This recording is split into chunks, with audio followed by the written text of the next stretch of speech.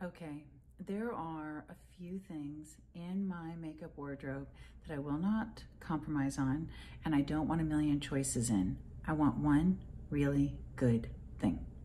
I don't want to have to choose different shade every day, different whatever, whatever, whatever. I want one really good thing.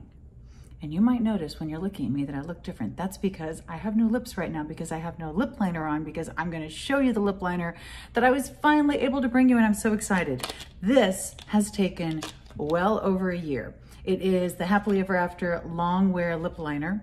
I absolutely love it. It is the perfect color. So I can use it with so many different colors if I wanna do lipstick or lip gloss or just wear it on its own. And that's what I do more days than not is I just wear it on its own. I like to chip my cheat my lip line, as you see. Mm-hmm.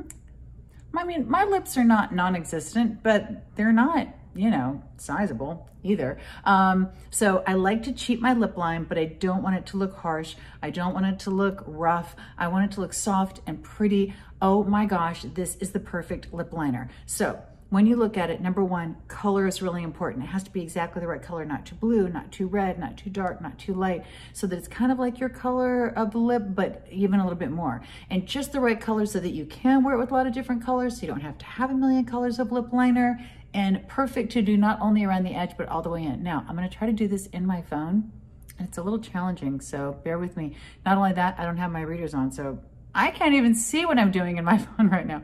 Okay, so start in the middle, Go to the edge. Now you can just do a little bit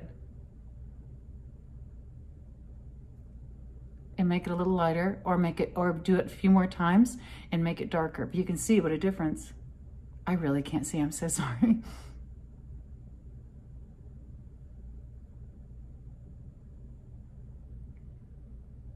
And then you're just gonna blend in, go down, And there's your lip. How gorgeous is that? Now underneath, so you can decide if you want to fill in more of this cupid's bow to make your lip look more full in the center, or if you want to create more of a realistic lip line. Underneath, I go under. See the color ends before the under. I go under and then up. And then fill.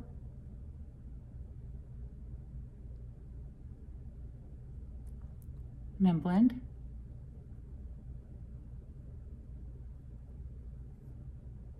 And you're good. I love this all by itself. I love it with any gloss. I love it with any balm. I love it with any lipstick. It just is one of the most beautiful, versatile, perfect colors. It goes on easily. You can, you know, you can apply a number of times if you want to be darker. You can use a little bit of a lighter pressure for lighter, darker pressure for darker. It's gonna last beautifully. when I'm wearing a mask and I just wear my lip liner, it's amazing how well it stays in place. So it's taken over a year. It is well worth the wait. And trust me when I tell you, you don't need a whole wardrobe of lip liners. Mm-mm, girl, you just need one really good one.